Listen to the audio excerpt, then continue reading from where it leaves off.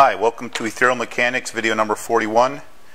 This is the Pretonic Gateway. This is going to be kind of a long video and it's going to get very mathy. Uh, but uh, I think uh, for those people that are not math uh, versed might get the gist. Uh, what we're going to do here is we're going to begin the step-by-step -step process of the derivation of the Pretonic field equations of ethereal mechanics. The, the original name for these was going to be new electromagnetism V5. Since in the past videos renamed them because they're not going to look anything like new electromagnetism. So, um, but first we're going to do some refreshers on stuff, and then we're going to look at why previous attempts to unify the forces failed, and then we're going to get onto the Pretonic gateway. This is my diagram, my way of looking at nature. This is called the epochs of natural structure. And what you have here is like a cornucopia where um, as each level is called an echelon, and where chemical compounds, where they're virtually infinite chemical compounds, are synthesized by 100 or less elements.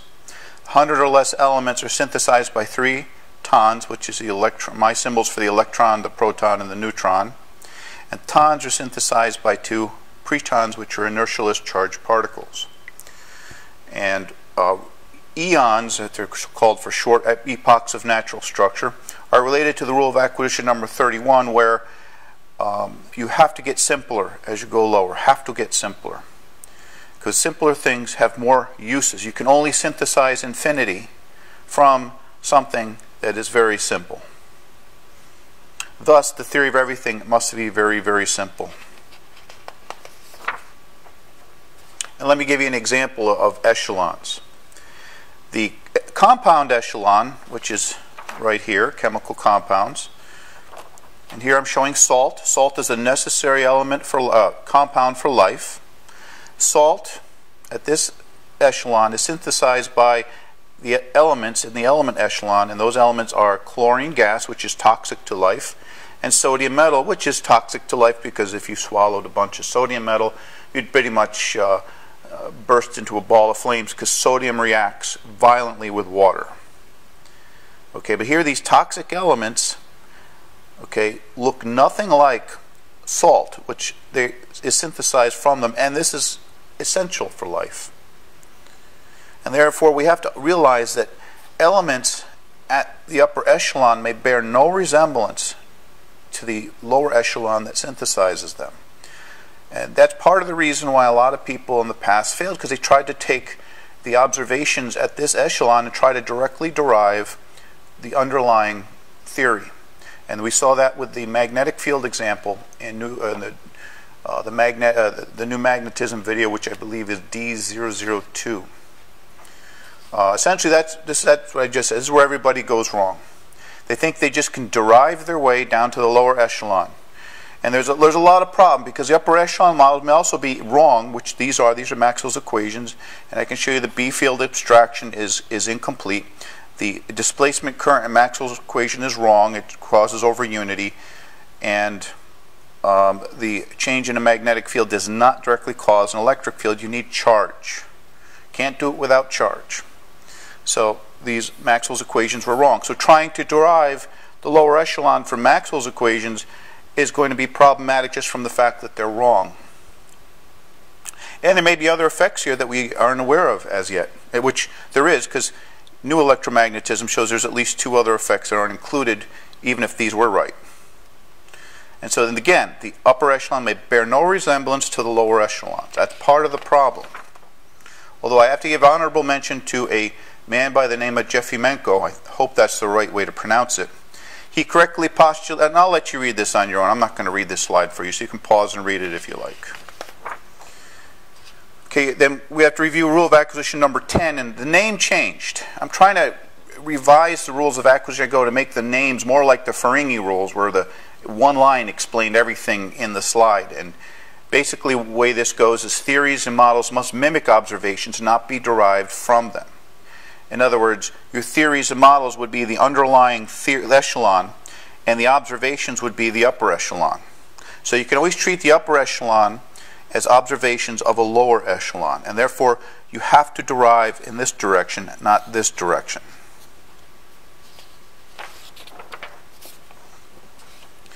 And that's pretty much what I just showed. You have to, these are the five terms of new electromagnetism, and, and there could be other effects that we aren't aware of as yet. And you can't just derive from here down to here and expect to get a correct answer. So what you have to do is find a way to, to go from here and get back to here. Okay. Again, you need to make a guess about the lower echelon and then try to derive the upper echelon, and you may end up with more results that weren't previously known. Because as you go from the electric field through the magnetic field, each effect, one of these effects gets smaller and smaller and smaller and smaller. Where you know down here you need a million times amplification to see this very tiny effect down here. You know, like thousands of turns and uh, very sensitive amplifiers to see this effect. Whereas down here there may be effects that are there that we just haven't noticed because they're so darn small. Okay, and that's the other reason. The reason why you can't go this way, there might be still be maybe other effects you're not aware of. And so how, how many, so, so we have to come up with a way to make a guess about the lower echelon. And there's a couple of ways you can do that. You can do your judicious guessing. And I've had little success with that. And if you go back to uh, my papers uh, where I derived the new magnetism and, and new induction, my training, my training told me that the underlying models had to be inverse square. Okay, so I've had little success. My training has kept me, held me back from, from finding the truth by using logical or educated guessing because my education stood in the way. And Mark Twain said, don't let schooling interfere with your education. Then there's the other technique which has worked very well for me. It's called brute force. Use a computer to search all possibilities. And you have to include upon those possibilities things you might consider strange. And you got to do all possibilities, no matter how strange and stupid you may think they'll be. And I did that with new induction and video number 18, where two solutions were found out of 45,000 possibilities. And it turned out those two solutions were actually the same solution. And in the upcoming videos on the new math construct, I found 128 solutions out of 268 million possibilities. Uh, and that ended up reducing to two. Or, third technique is you can find a gateway. Now in video number 36, we introduced the tool gateway, where a gateway tool provides a toehold which enables us to advance to the next level of technology. And the example is, if you had an obsidian axe, then you can cut a branch and cut some string that now you can fashion a handle for the axe, making the tool better until eventually you get up to machine tools and space shuttles and all that stuff. There's also theoretical gateways. A theoretical gateway is a clue, a paradox, an anomaly, which we call pain in the other videos. Where there's pain, there's gain. Uh, an example is uh, video number 33. The transverse wave was the gateway to realize the ether must be a binary medium. Okay, because the only way you can have a transverse wave passing through a medium is if the medium is binary. So now we got still have some gateways on deck. These are gateways introduced in previous videos we haven't used yet. And one of the gateways is force needs to be replaced because pretons are inertialess, so force is meaningless. And I don't know about these video numbers. These are uh, to be announced. Uh, energy needs to be replaced. Energy requires mass, but we're talking about inertialess particles. So the definition of energy eh, for at the pretonic level is meaningless. Constants of relation have to go. Rule of acquisition 24. Uh, and we have all the equations of new electromagnetism are still disconnected equations. We need to break them up into cause and effect. This will happen in this video. And in video number 16, the antenna paradox provides a gateway into the nature of fields at the pretonic level. Oh, that's actually in this video.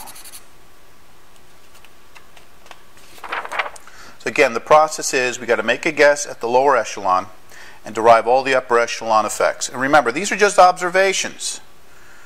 Okay, this is Coulomb's model, not Coulomb's law. It's not a law. It's not a law of nature. All this is is an empirical data. They took empirical data. They found that that data fit an inverse square relationship, and they needed a constant of relation to correlate those measurements into the force that was observed.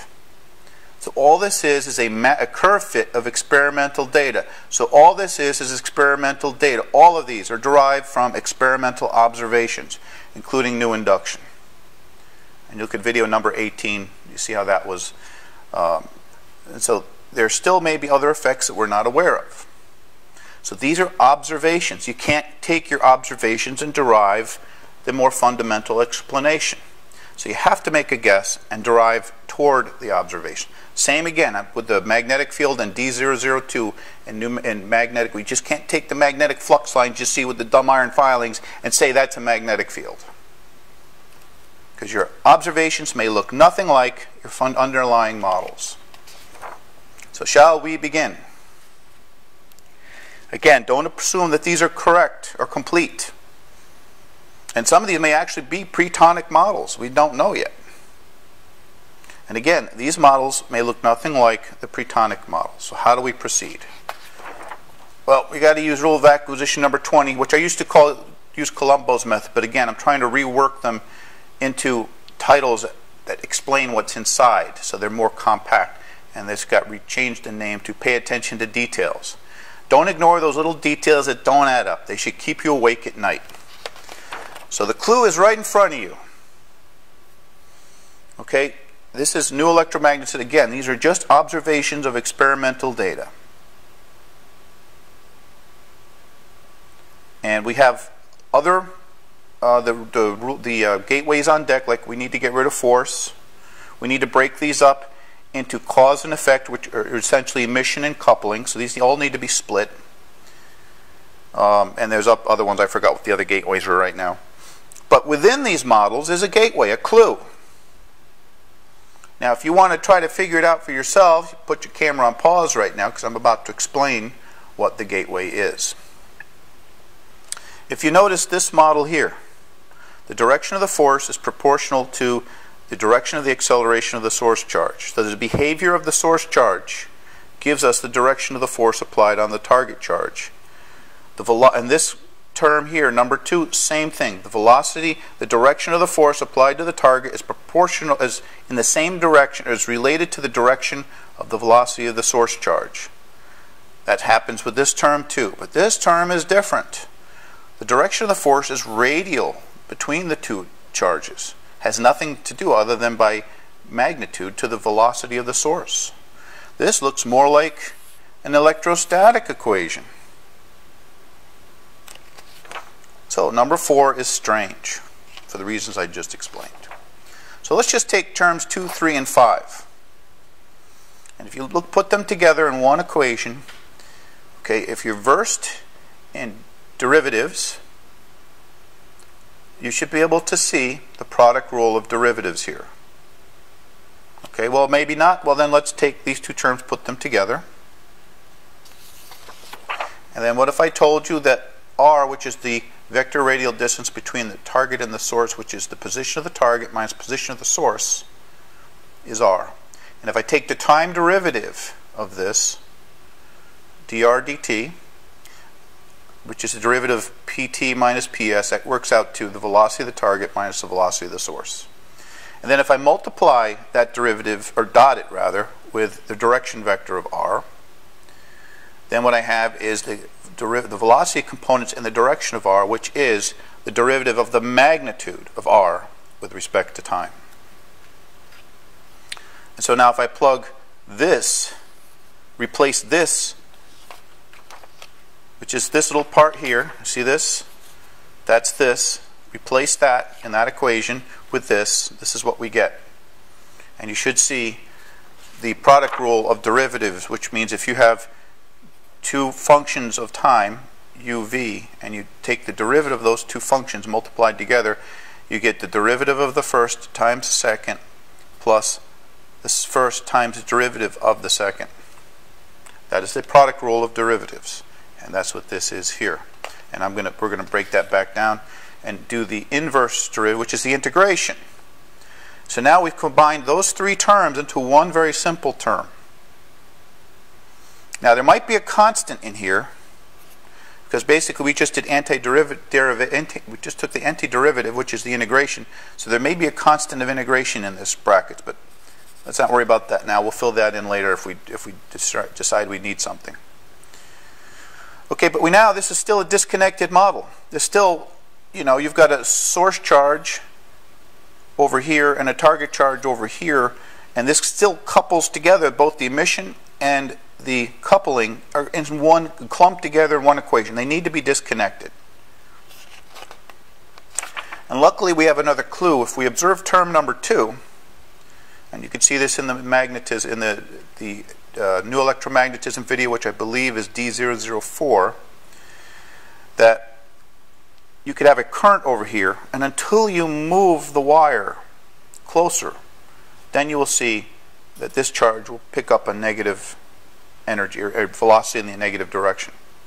Therefore, the space around this charge must be energized, and until you move the charge into it, that's when you couple energy out of the field created by this wire. And therefore, now we know how to split the emission and the coupling because the emission has to always be there and the coupling occurs only when the derivative occurs. So the derivative is the point where we split the uh, coupling and the emission. So the field is generated, the, the disturbance in the ether is, is generated by pretons in motion, where Q is a quantity of pretons. The I field, this should be uh, bold, is a vector ampere field. It has the units of current, which obviously is amperes. You can't get more simple than that. And it's a simple inverse field, meaning the, the amplitude drops off by the distance. But that's where you know a lot of people went wrong when they tried to do it before, like I did in the real early beginning. I always thought it had to be an inverse square field. It doesn't. It's just an inverse field. Now the problem I have now, so now we can split the emission, the field, the vector ampere field is just charge times vector velocity divided by the radial distance. So if you have a current, or I'm sorry, if you have a charge in motion, then at any distance from that charge, you can calculate the direction of the vector ampere field. It's a vector ampere field. And then the way you can determine the coupling is you take the time derivative of I, which this is part has an element of the target in it because it's for distance from the source to the target. And that's how you couple the energy out to find out what the force will be on the target charge. Now the sign, there's an issue with the sign. Do we put the sign here or do we put the sign here? I don't know. I put it over here because I figure this has to be, excuse me, the negative of the direction of the current. It has to be negative. Because if you had a current in motion this way, your field should be the opposite direction. Kind of gives, it, gives the balance to the emission. So that's where I'm putting it now until we find out something different. That's where it's going to stay. And now this all makes sense because in video number 16, in the antenna paradox, in order to resolve the paradox, we inferred that light, radio waves, must be an emission of kinetic energy phenomenon which is consistent with amperes. This is the little diagram we came up with to explain what, uh, to resolve the paradox in the energy coupled into a target antenna. And that our gateway produces vector ampere fields is very exciting. So we have a partial result now. We have a guess. We made a guess. And that guess, when we derive the other way, we only get three of the five terms. What about the other two? Well, could there be a second component that we could derive? Well, the rules of acquisition, especially the epochs of Mother Nature or natural structure, say no, because if you get two electronic fields, the electric and magnetic field, then as we go down the cornucopia of the epoch, you should only have one pretonic field, and that, my friend, is your unified field. And therefore, we have to resort to rule of acquisition number 31, which is the complexity versatility duality, which I got to find a better name for this. But essentially, what it means is in order to explain more stuff, your models have to be simpler. And logically, the theory of everything should be ridiculously simple. So, in order to explain these other terms here, this needs to be simpler. This is a blurry image of the true model. Okay? And basically, the way we can analogize this, uh, this pretonic gateway that we're showing you, this model here, which is this, is basically like you can analogize it as a blurry image of a distant galaxy.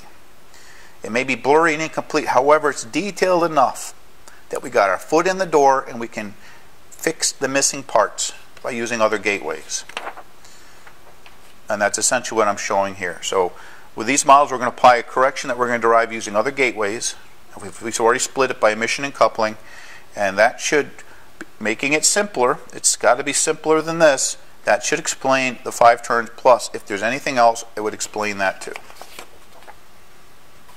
Okay, but again, this is just a toe hold into the echelon of the pretonic field. There are other gateways or clues that we need to follow up to infer the needed corrections. Okay, the next video, uh, 42, we're going to have a ghost and ether addendum, and then we're going to apply some other gateways. Number 46 is a look ahead. Um, uh, the reason why I need a look ahead is kind of give you, you know, we got a long way before we get to any cool stuff like faster than light drive or all that kind of stuff. But I want to show you in this video all the steps we're going to do uh, until we get to the to the really cool stuff. So we got a long way to go before we get there. We've got a lot of gateways to cross. Anyway, thank you, and thanks for the donations I've been getting. I really appreciate that. Uh, if you want to donate, you can go to my website. There's a button there. My website's highly outdated. Uh, I'd rather do the videos and fix my website, to be honest with you. Um, I will get one day get to updating my website. And thank you for all your comments. Uh, have a nice day.